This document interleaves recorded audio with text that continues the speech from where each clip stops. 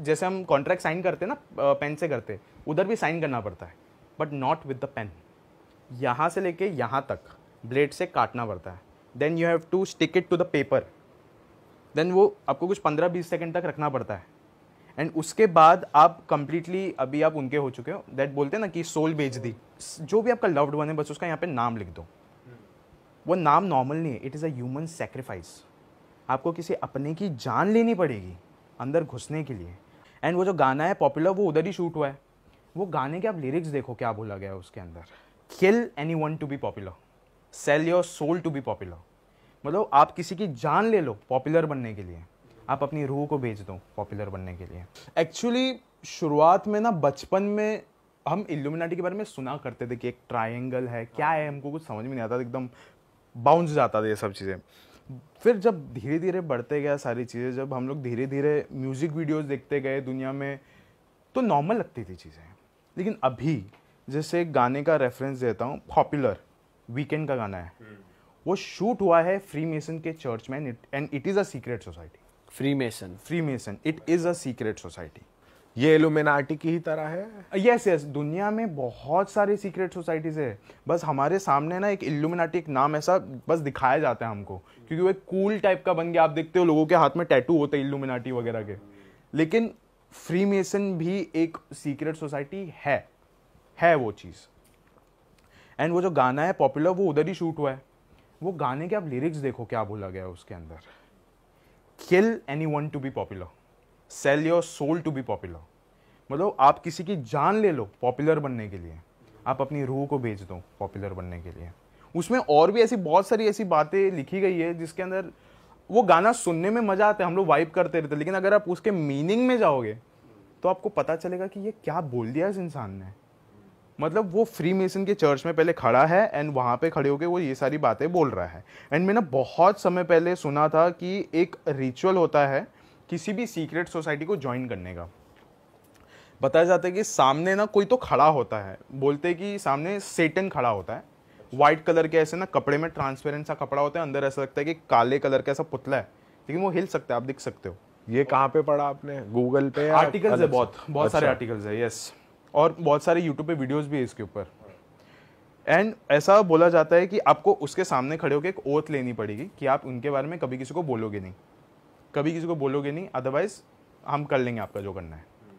And वहाँ का एक रिचुअल होता है कि आपको, आपका जैसे हम कॉन्ट्रैक्ट साइन करते ना पेन से करते, उधर भी साइन करना पड़ता है but not with the pen यहाँ से लेके यहाँ तक ब्लेड से काटना पड़ता है। Then you have to stick it to the paper then वो आपको कुछ पंद्रह बीस सेकेंड तक रखना पड़ता है। एंड उसके बाद आप कंप्लीटली अभी आप उनके हो चुके हो दैट बोलते हैं ना कि सोल बेच दी हाँ हाँ। तो वो वहाँ पे होता है and this is the kind of ritual this is the first ritual second किसी सीक्रेट uh, सोसाइटी को ज्वाइन करने का होता है कि वहीं पे आपको पेपर पे लिखना होगा नाम एक बंदे का बोलेंगे कि आप किस जो भी आपका लव्ड वन है बस उसका यहाँ पे नाम लिख दो।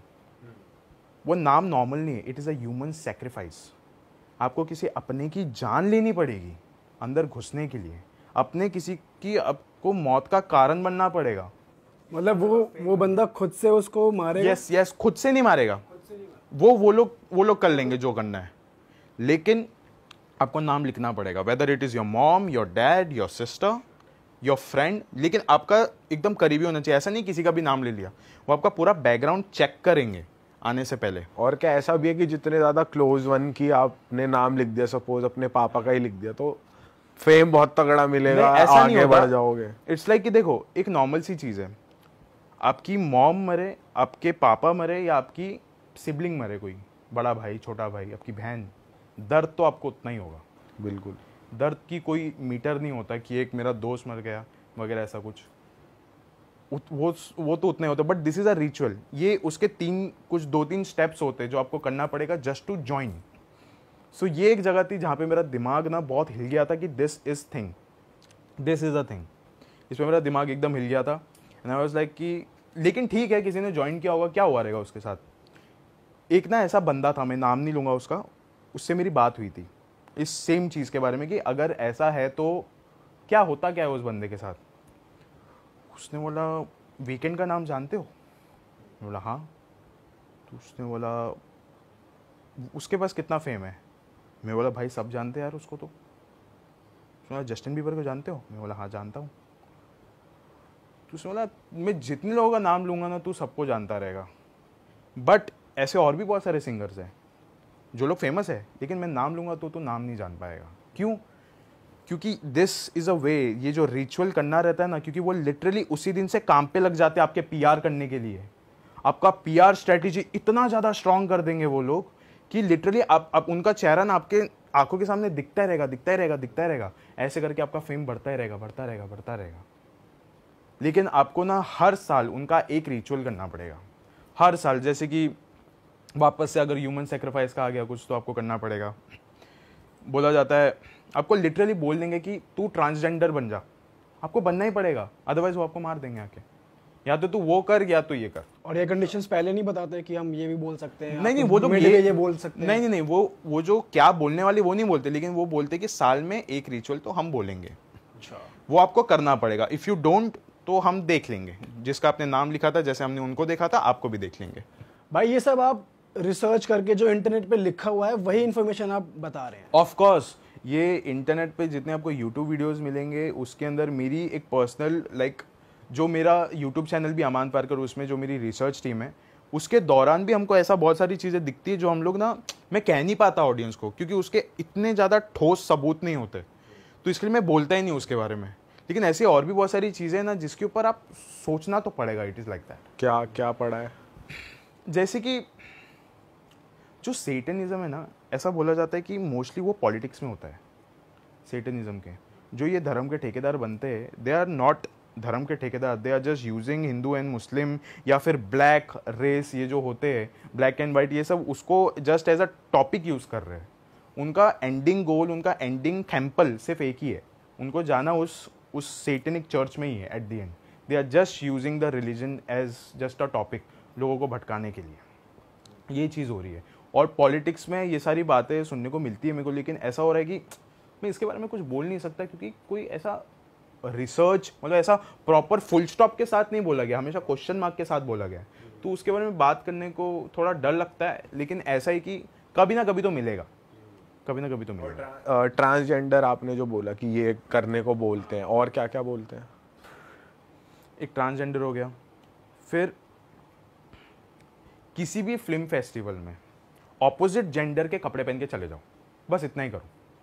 या फिर if you are a music concert अगर आपका है, आप कोई सिंगर हो तो बस बीच में जाके भले एक सेकंड के लिए, आधे सेकंड के लिए ये कर लो।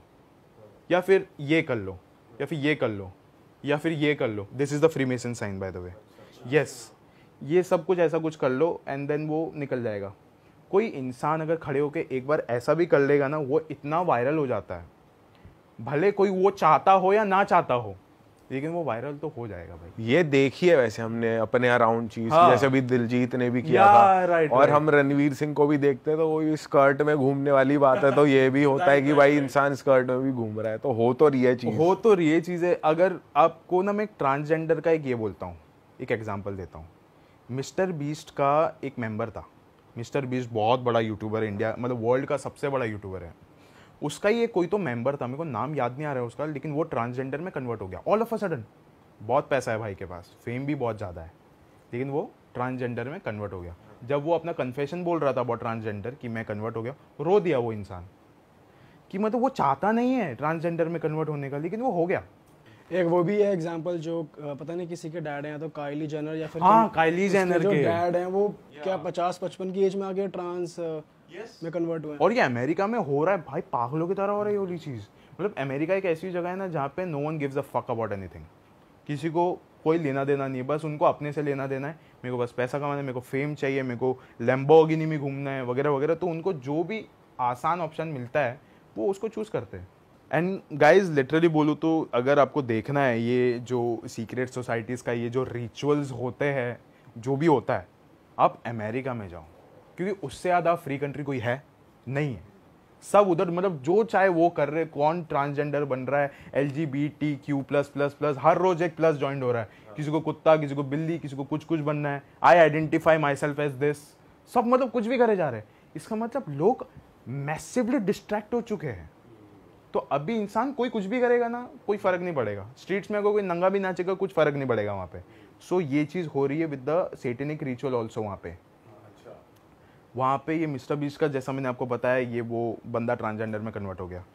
काइली जेनर का, जैसे अभी आपने बताया कुछ देर पहले, उसके जो पापा थे, वो ऐसा कन्वर्ट हो गए। हमेशा ना ये चीज़ जब होती है, जब इंसान का डाउनफॉल आता है। इंसान का डाउनफॉल आएगा, ये लोग आपको अप्रोच करेंगे, क्योंकि आपका चेहरा ऑलरेडी बहुत ज़्यादा फ़ेमस है। आप देखते रहोगे, बहुत सारे लोग फ़ेमस थे, गायब हो गए, अचानक से और ज़्यादा फ़ेमस हो जाते हैं। इतने ज़्यादा फ़ेमस हो जाते हैं कि हम लोग सोचते हैं कि भाई ये इंसान पहले तो नहीं था इतना फ़ेमस अचानक से कैसे हो गया? No consistency on YouTube no consistency on the movies but still viral हो जाते हैं। लेकिन उसमें आपको बहुत ज़्यादा ना एकदम सस्पिशियस एक्टिविटीज़ भी दिखेंगे उस इंसान से कि वो इंटरेक्ट करना बंद कर देगा लोगों से। लेकिन उसका काम बहुत चलता रहेगा। ब्लॉकबस्टर पे ब्लॉकबस्टर देगा वो चीज़।